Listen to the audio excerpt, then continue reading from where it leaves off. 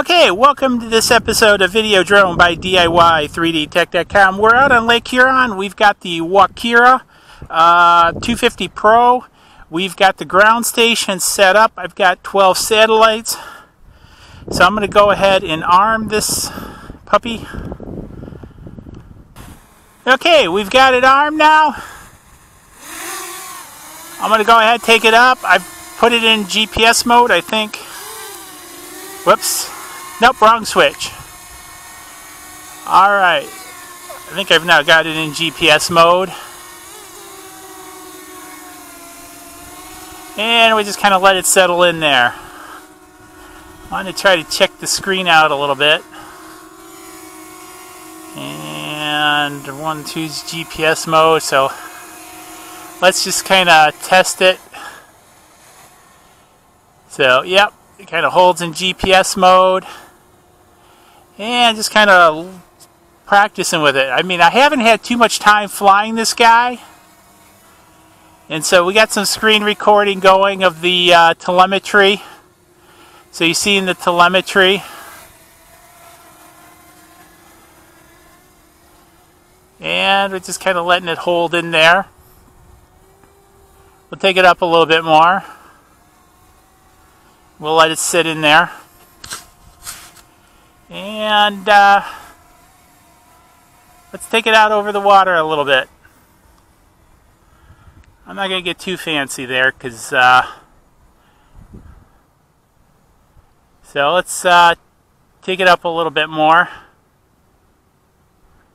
and we'll let it sit in and so, so we'll spin it around and that's one thing I like is I got, the headlights, so I know it's pointing back towards me. I just really wish I could get a better altitude hold on this bird. So it kind of locks in like the spark, because I really don't want to be Mr. Steel. but again, we can come racing back in this way. And if you call it racing, it's not too fast. And what we'll do is we'll spin it back around. And then we'll race it back out over the water towards those sailboats. Yeah, I, hear, I don't know if that's a plane or a boat. I hear something. So I'm going to bring this back in towards me. I'm still pretty low, so um, I have checked hover. I'm good to go. But this is a Class E airspace at 700 feet, so I'm good to 400 feet. So I definitely still hear a plane. I don't see it, so I'm going to bring this guy down a little bit just in case. He must be pretty high if I can't see him, but I can definitely hear him. Oh yeah, I see him way up there. He's, uh, yeah, he's quite a ways up there. So he's he's well within Class E, so that's good. So I'm just gonna wait for him to pass a little bit. He's passing over top of me now, so he'll be out of my airspace in a little bit. So again, you want to be respectful of uh, you know aircraft. You know, make sure you yield the right way, even though you're not flying too high.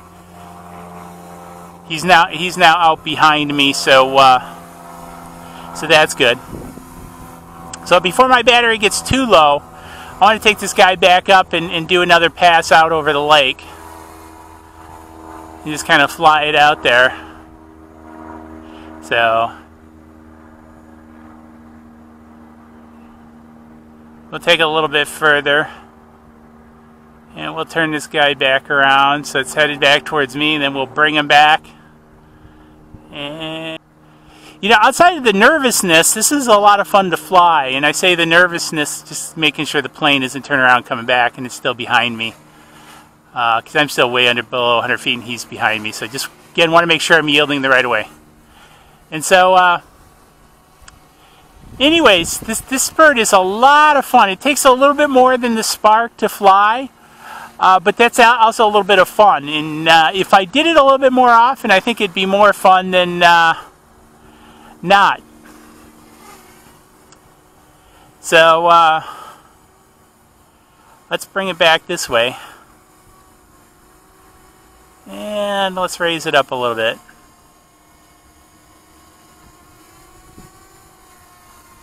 And uh, let's give it a punch up.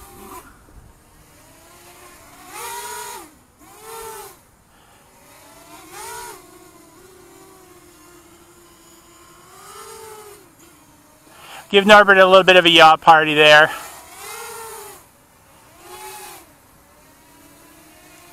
I forgot my sunglasses in the car, so it's a, the sun's a little bit hard on my eyes right now. And so we're just kind of whipping this around.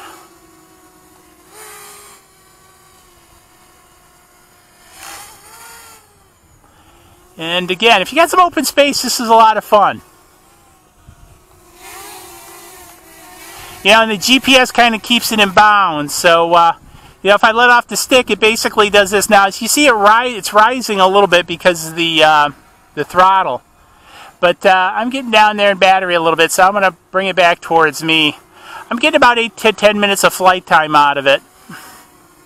And let's go ahead and put it down on the ground.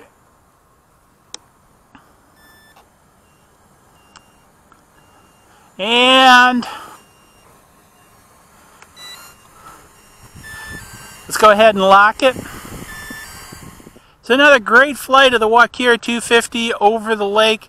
I tell you what, uh, for the Old Man's FPV Club, this copter is a lot of fun to fly. So uh, definitely big thumbs up. Let me know in the comments below what you're thinking. Again, let me know what you're thinking about for lunch today. And hey, we'll see you guys in the next video. Get one of these. Cheers.